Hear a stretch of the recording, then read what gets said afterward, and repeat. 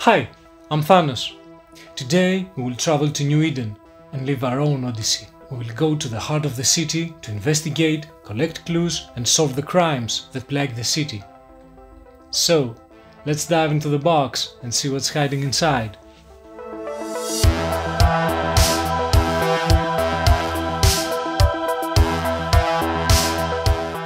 New Eden is like a paradise on earth.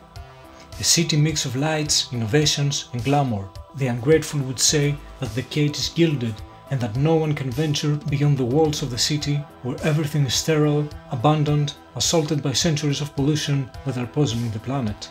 Fortunately, the center is serving our interests well.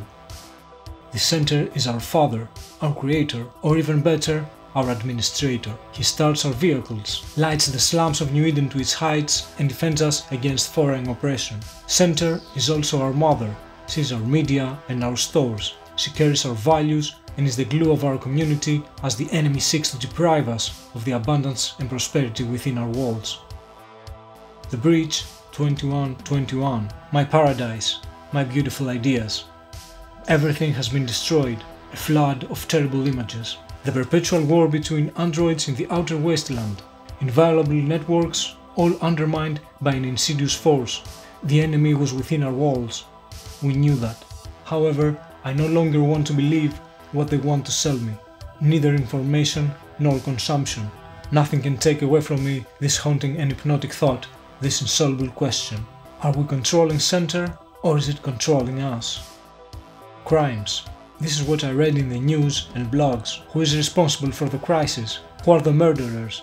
Who corrupts and smears our paradise? They are muzzled, buried in the depths of the dark web, sued, accused of being Eastern Network spies. In the end, we are surrounded. The enemies want to interfere in our oasis of freedom, but who's pulling all the strings from the digital web? Organize and resist. That's it. We must fight back, fight this digital plague. You will only have to join me in this bar where we once met, under the sculpture of chains and neon lights, when you receive the signal. So, begin your cyber odyssey.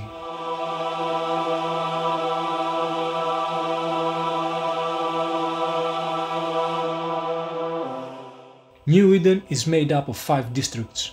These districts have slots where agents interact with the district. The orange slots are for taking actions, the red for tactical combat, and the green allow agents to resolve certain events triggered by event cards. Each district has a unique deck of 8 cards that describe incidents and 4 special event cards that allow you to further explore the events described. Tokens are placed on the districts to show where the incidents take place. Generic event tokens and riot tokens are used to show where the agent must go and resolve the incident. Crime scene tokens allow agents with the investigation trait to solve the crime scene. Car chase tokens allow agents with a piloting feature to participate in a car chase to stop a fugitive. Forbidden tokens do not allow agents to occupy the action slot associated with this token. Character tokens allow agents to escort individuals from one place to another, and the bridge tokens allow agents possessing the piracy characteristic to take a hacking action on a location containing a bridge token. Each organization has one dashboard with slots to keep track of your progress in the game and store your clues, vehicles, and investigation cards. Each organization can recruit up to 3 agents who carry out the investigations. They come with the agent file that has the features, skills, and jobs listed on it. This agent file goes to the agent dashboard along with their equipment and experience. At the beginning of the game, each agent has two features that have special abilities and help resolve certain events. The agents can buy all sorts of equipment on the orange slots in the districts. Cyber implants, gears, clothes, healing kits, weapons and vehicles. Once purchased, the equipment tokens are placed on a free slot on the agent's dashboard and the vehicles are placed in a free transportation slot on the organization's dashboard. The strategy cards determine the order of play. The support cards represent new Eden citizens who are willing to help the organizations, but always for a price. The software cards provide with some bonuses and can be very helpful in different situations. The hacking cards are used to resolve the hacking action, and the trip cards are drawn when the agents move to a district or during car chases.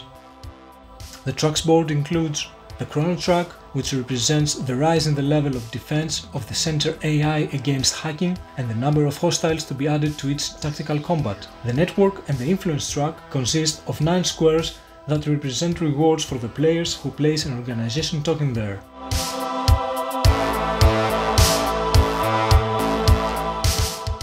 In Cyber Odyssey, each player controls a team of 1 to 3 agents in an organization that seeks to solve the crimes in New Eden in 12 days.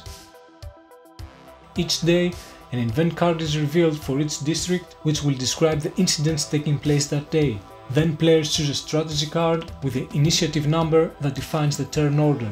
During the activation phase, players have three actions available for the agents to investigate in the heart of the city and collect clue tokens that are stored in investigation folders on each organization's dashboard. The first player to resolve every investigation card of their organization immediately wins the game. Game Turn Each turn consists of the following phases. Event Phase Event cards in play have a maximum duration so they are turned sideways to indicate how long they will remain in play. Draw the top event card for each district and place the event tokens on the indicated locations. Take a number of clue tokens indicated on the cards still in play and place them next to the tactical combat location. Strategy phase. Each player draws a strategy card, then they choose one card and simultaneously reveal their strategy card. The player order is determined by the initiative values of the strategy cards. The player with the lowest initiative value will be the first player. Activation phase. Starting with the first player, players take turns activating one agent at a time. By going to specific areas of the districts, an agent can perform several types of actions.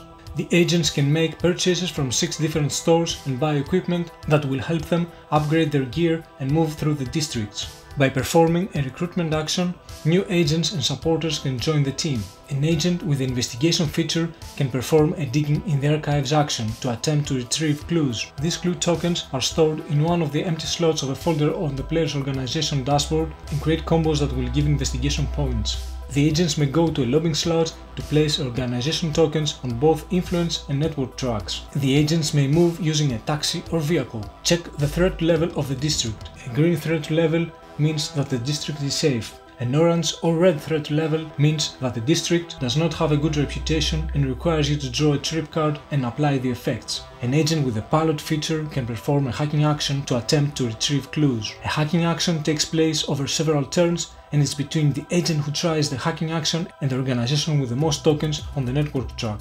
To win a hacking action, the hacker must be able to counter each of the hacking cards played by the organization. The agents also have jobs that provide them with income and XP. And of course, all agents can have fun and gain XP. Finally, an agent with a weapon can perform a combat action,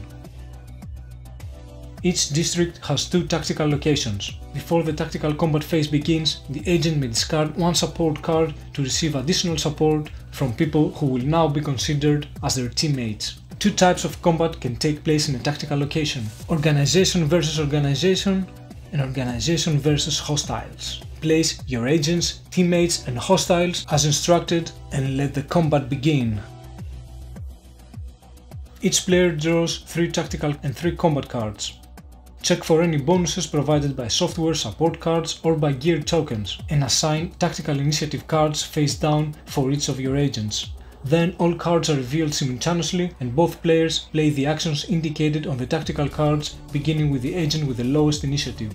The tactical cards have the initiative value, the actions that can be taken by the agents and their teammates, and also show how many teammates can be activated after the agent has completed all of their actions. If the player chooses the attack action, then the attacker selects a target and plays a combat card face down. The defender may play a combat card in defense. To calculate the total attack and defense values, add the values of the cards played to the attack or defense values of the agents or teammates involved in the combat. The damage inflicted is the difference between the attack and defense value. When an agent takes damage, their health point counter goes down. If they lose their last health point, the agent is killed. Two of their gear may be assigned to other agents and all the rest tokens are discarded. Investigation phase. Each player records the values of the clue tokens stored in their completed files. When a case is complete, it is turned into investigation points. These investigation points are shown on the investigation point counter on the player's organization dashboard. Repair phase. In this phase, you can repair a fried cyber implant and heal agents using their healing kits. Each healing kit heals one health point of any of your agents. End of game.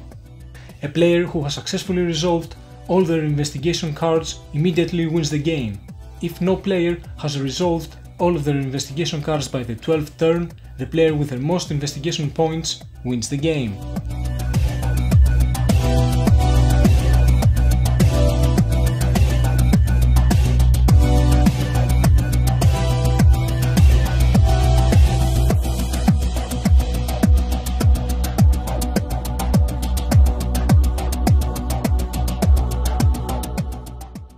Well, this was our story of Cyber Odyssey.